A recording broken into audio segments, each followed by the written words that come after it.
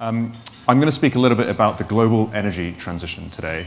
And at Bloomberg NEF, we think the global energy transition is the most important value creation opportunity of our generation. So I want to talk a bit about that today, talk about how we see the role of South Korea in the global energy transition, and also why now is a time to seize the opportunity. Just quickly, um, for those of you who don't know Bloomberg NEF or BNEF, uh, we are a research provider. Um, so all we do all day is we gather data and we write research about the global low carbon transition. We cover the commodities market, including oil and gas and coal, and also the carbon markets. We cover sector transitions, all of the different opportunities and technologies in clean power, transport, industry, and agriculture. We cover cross-cutting technologies like hydrogen, carbon capture and storage, bioenergy, and we also look at how corporations and financial institutions are navigating those opportunities and managing their own sustainability as well. Um, so that's just kind of what we cover and how we think about the world. But let me kick things off by saying, as we all know, we are living in the age of climate change. Uh, this is a picture from here in Seoul, South Korea, uh, one year ago during the floods that, that affected the city last summer. But this isn't a story about Seoul or about South Korea. This is a story about the whole world. So whether you live in Canada or California, or Italy or Greece or China or India or Pakistan, you are being affected. You're seeing floods and wildfires and droughts and storms, the like of which we've never seen before. And we are now already at 1.1 degrees Celsius of global warming. We've already hit 1.1 degrees compared to the uh, temperature levels um, on planet Earth before industrialization. The red line here is the actual temperatures observed um, measurements over the last century, more than a century. And the blue area is the modeled estimation. And so you can see the models are actually very accurate. The models are very good at predicting where we are and in, indeed where we are going in future. And every year, we go further into uncharted territory. Um, every year, there are different records being broken around the world. This is just one example. This is the sea surface temperature during the first half of 2023 compared to all the other years in the record. And you can see this year we've started to see a very strong deviation from history uh, because of climate change and also because of the beginning of the El Nino weather pattern this year. So just one example of the kind of uncharted territory we're, in, we're entering. Now, as you know as well, humanity has agreed to tackle this challenge. In 2015, more than 190 countries signed the Paris Agreement, which says we will uh, limit global warming to well below 2 degrees um, uh, compared to pre-industrial levels. And we will aim for 1.5 degrees. We'll aim for 1.5 degrees. Three years later, the IPCC, which is the UN's climate science body, issued its special report, which has done so much to advance the conversation on climate change.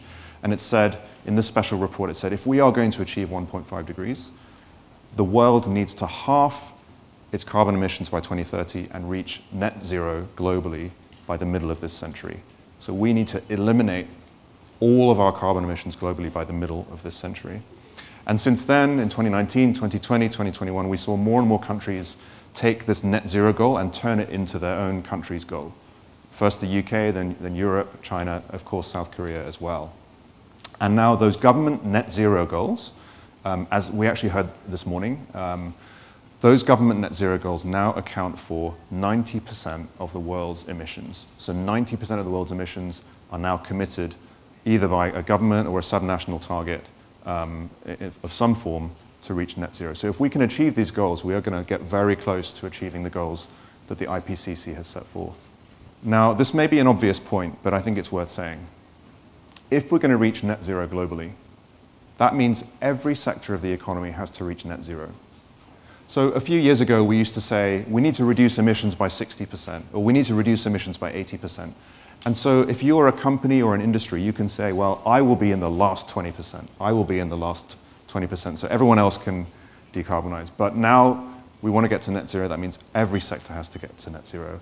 And at BNEF, we've done a lot of modeling about different scenarios to 2050. Our net zero scenario um, shows that if we act quickly, we can reach 1.7 degrees Celsius. 1.5 looks very difficult now we think 1.77 is still very much achievable. Okay, so we've talked about the need to tackle the climate crisis, and we often talk about moral responsibility. We must do this, we must do that. But the other side of the coin is that energy transition is also and is already a significant opportunity. This is a picture from uh, Goheung here in, uh, in South Korea, um, and you can see it's a floating solar PV plant. And I think it's a great example of the kind of innovation that we're seeing, the new business models that we're seeing emerging in the energy transition. And so in our research, we do a lot of data gathering and we follow where the money is flowing in these new opportunity areas. And last year, 2022, we tracked more than $1 trillion of investment in the energy transition. And by energy transition here, we mean all of these low carbon technologies. So low carbon energy supply, like renewable energy, nuclear, energy storage, CCS is carbon capture and storage, hydrogen, and also demand side technologies like electric vehicles, electric heat pumps, sustainable materials is kind of clean industry, decarbonization of steel, and things like that. And all of these sectors together attracted $1.1 trillion of investment last year, up 30% from the year before. So this is a trend that is growing very, very quickly. And this $1.1 trillion, for the first time, matched the amount of investment into fossil fuels globally. So the green bar is the energy transition, and the pink bar here is fossil fuel supply investment. You can see fossil fuel supply investment has grown the last two years because of the energy crisis. But even despite that, the green bars have matched the pink bars for the first time, and probably for the last time, because they're going to continue to grow, and I don't think the pink bars will continue to grow. Now, underneath that 1.1 trillion, there's a lot of different things. So the two biggest pieces are electric vehicles and renewable energy. Electrified transport, including electric vehicles, is 466 billion, and that's growing very rapidly. That's the fastest growing sector. And then renewable energy is 495 billion. That's still the largest sector, and the growth there is driven primarily by solar. Solar is really the growth driver in renewable energy. Between these two sectors, that's almost all of the money. But there are also other sectors which are much smaller, but really important. So less mature technologies like hydrogen, like carbon capture and storage. These are technologies that are not yet at commercial scale, but we know they need to be at commercial scale by 2030 if we're going to get on track for net zero. And the good news is we're starting to see that growth. So hydrogen investment tripled last year to 1 billion, and carbon capture and storage investment also nearly tripled up to $6 billion. So we're seeing really good signs there. And when we look forward, all of that investment data is looking backwards. Now I'm going to show you some forecasts uh, which is really what we do at BNEF, is a lot of forecasting. This is our latest forecast for global installations of wind, uh, so, uh, solar, and energy storage um, on the power grid. Um, this year, we expect about 400, uh, 450 or so gigawatts of new installations. These are annual installations, so just this year. And by 2030, that's going to be more than 800 gigawatts. So we're talking about doubling the speed of deployment between now and 2030. This is our forecast. This is what we predict. And this amount of solar is enough to get on track for that net zero scenario, for that 1.7 achieving um, net zero by 2050. Wind is not quite on track. We need wind to move faster, but solar looks like it's already on track. And you will have heard over the last couple of years that there have been a lot of supply chain challenges um, in these sectors. You will have heard that there's been a polysilicon shortage. Perhaps you've heard that wind turbine prices have risen. Um, and it's true that wind turbine prices are still elevated. Battery prices are still elevated because of the costs of materials. But interestingly, solar prices are already back to record low levels, which has been a, an incredible achievement because we saw a huge increase in solar costs uh, over the last two years. But the supply chain has already responded, and solar module costs are already back down to record lows, and we think will continue to fall. And over the next couple of years, we expect wind, uh, wind turbine costs and uh, battery costs to come down as well. And even regardless of all of that, if you take the all-in uh, lifetime costs of different uh, energy uh, power plant technologies, if you compare coal and gas and solar and wind on a lifetime levelized cost basis, the cost of the technology, the cost of installation engineering, the cost of operations and maintenance and fuel, on a global average basis, solar and wind are competitive against gas and coal and are actually cheaper than gas and coal. Now, it's not true in every single country but on, on a global average, in the vast majority of countries, wind and solar continue to be the cheapest form of electricity worldwide, which is really what's been driving all of the growth. On electric vehicles, we were also projecting very strong growth. Last year, about 10 million electric vehicles were sold globally. This year, it'll be 14 million. And by 2026, we expect it to be about 26 million. So we're talking about a doubling of the market over the next three years for electric vehicles. And that would be equivalent to reaching 30% of global car sales by 2026. And some markets are going much, much faster. You can see the, The top line here is China, which we expect to reach 50% electric vehicles by 2026, and Europe at about 40%. And again, it's a similar story uh, to renewables. In electric vehicles, what's really driving this is cost. We've watched the price of lithium ion battery packs fall by about 90% over the last 10 years. Today, battery packs are about $150 per kilowatt hour. That's up from the year before due to rising metal prices. But we expect by 2025, those costs will come down to around $120 per kilowatt hour. And at that point, in some countries, for some types of cars, the purchase cost of an electric vehicle will be lower or equal or lower than an internal combustion engine.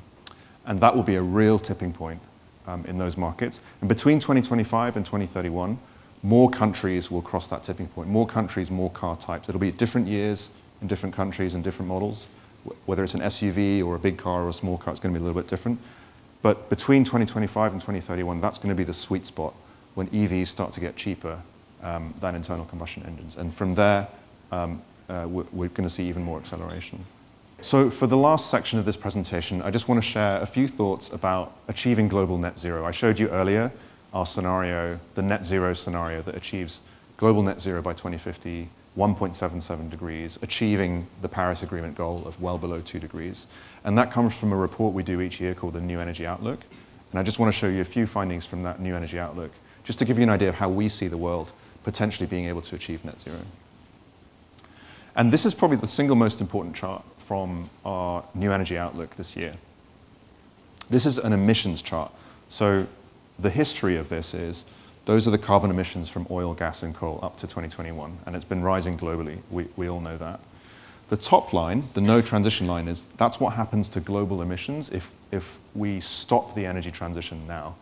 If we stop all of the investment into clean energy, then this, that emissions continues to rise from around 30 billion tons a year to somewhere around 50 billion tons a year by 2050, and that is a climate disaster, of course.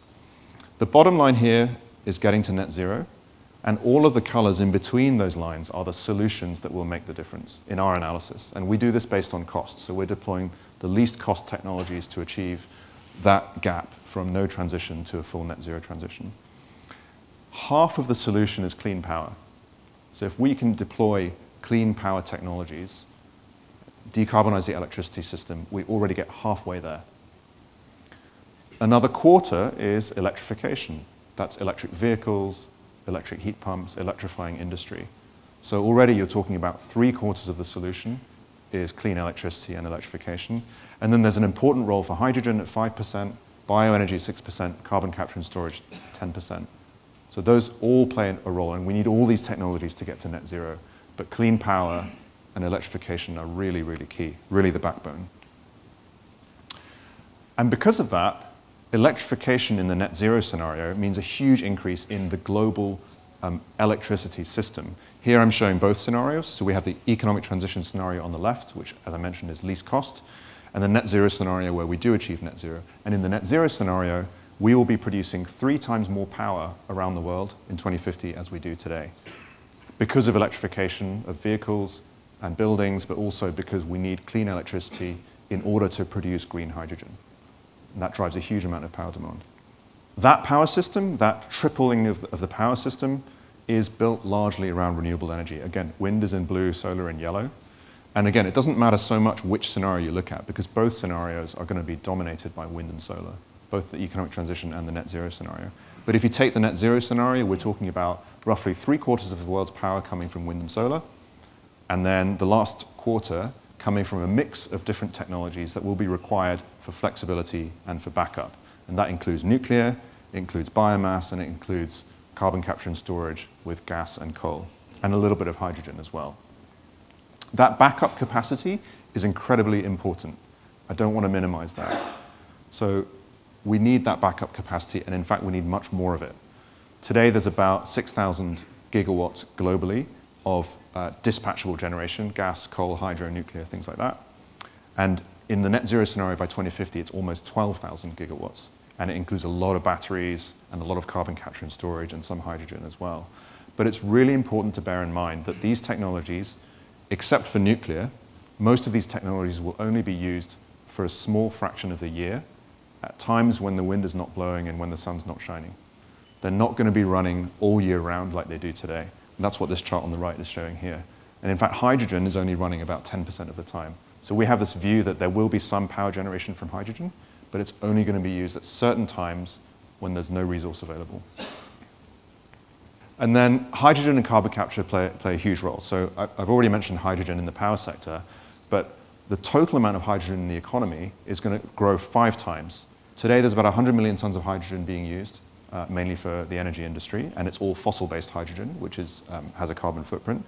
By 2050, in the net zero scenario, it's 500 million tons of hydrogen, and it has to be clean hydrogen. It has to be either green hydrogen uh, from renewables or blue hydrogen from carbon capture and storage.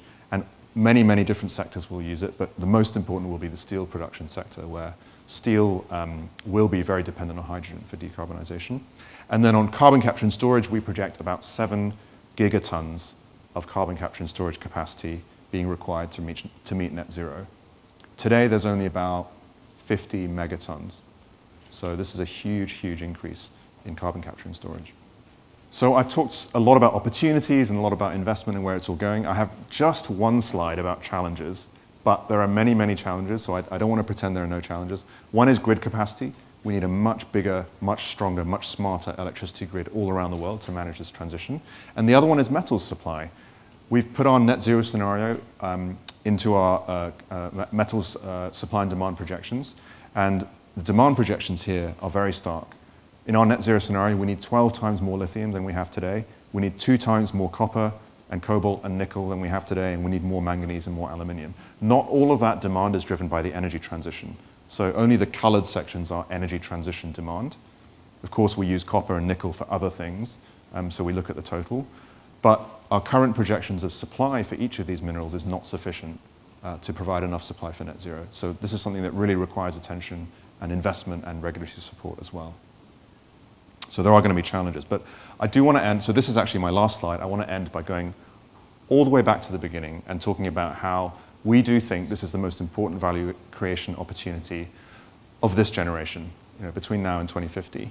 And as part of our net zero scenario, we worked out how much investment is required to actually achieve um, that transition. And the answer is almost $200 trillion, $196 trillion to be invested between now and 2050 globally to reach net zero. And those investments span a lot of different technologies, low carbon power, carbon capture, electricity grids, hydrogen, um, a huge amount of EV sales. Um, about half of the investment goes to EV sales. But really, all these different sectors have opportunities here to be part of the transition. And so our view is that no sector can afford to ignore this opportunity. And that's why we say that now is the time to seize the opportunity in the global energy transition. Thank you very much.